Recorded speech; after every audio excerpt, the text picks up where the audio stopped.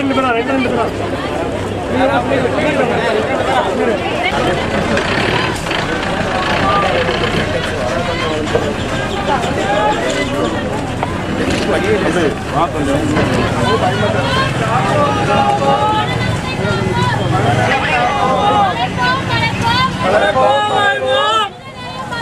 மனிதனே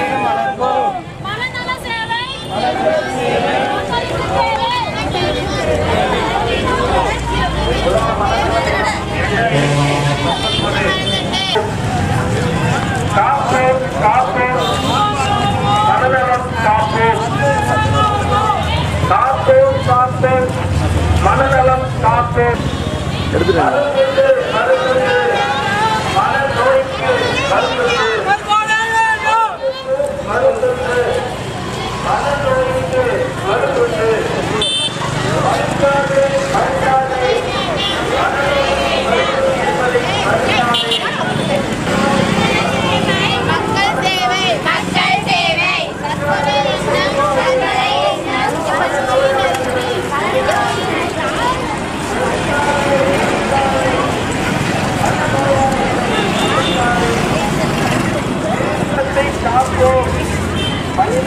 மனிதநேயம் வளர்ப்போம் மனநலத்தை காப்போம் மனிதநேயம் வளர்ப்போம் தற்கொலை எண்ணம் மனநோய் நன்கொடை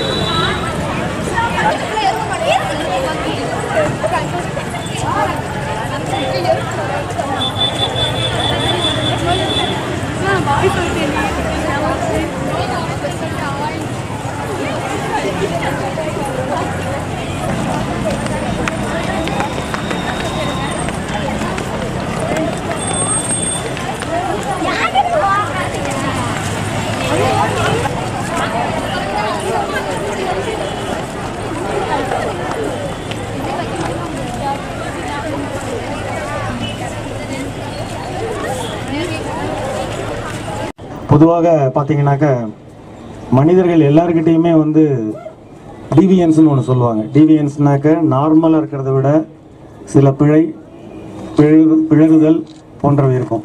அது முக்கியமாக உதாரணமாக சொன்னால் பொதுமக்கள் மத்தியில் இருக்கும்போது நாம் நாம் என்னவாக இருக்கிறோன்றதையும் தனி மனிதனாக தனி அறையில் தனி மனிதன் உலகத்தில் யாருமே பார்க்கல அப்படின்னு நடக்கும்போது நாம் செய்யக்கூடிய பிஹேவியர் பார்த்தீங்கன்னா வித்தியாசப்படும்.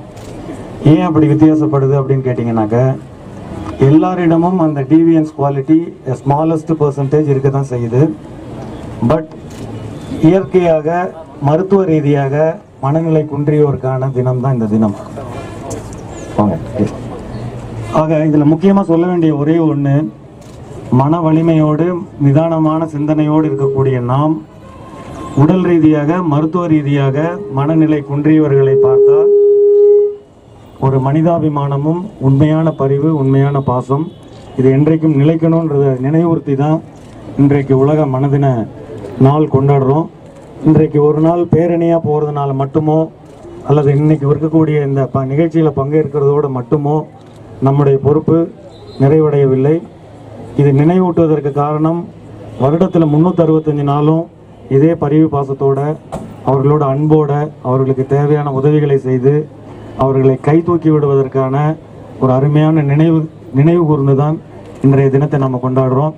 அதனால் இன்னைக்கு பேரணியில் இருக்கிறவங்க அத்தனை பேரும் இந்த பேரணியில் பங்கெடுத்தமைக்காக நான் என்னுடைய தரப்பில் நன்றி சொல்லிக்கிறேன். ஆனால் முக்கியமான ஒரு கவனமான ஒரு விஷயம் பேரணியில் பங்கெடுத்தது மட்டுமல்லாமல் நாம் நினைவில் கொள்ள வேண்டியது வருடம் முழுவதும் வாழ்நாள் முழுவதும் மனநலம் குறைந்தோருக்கான பரிவு பாசத்தை வந்து நாம் தொடர்ந்து செயல்படுத்தணும். இந்த வகையில் பார்க்கும்பொழுது சாந்திவனம் மற்றும் பல நிறுவனங்கள் வந்து தன் வாழ்க்கையை அர்ப்பணித்து நிறைய பேருக்கு உதவி செஞ்சு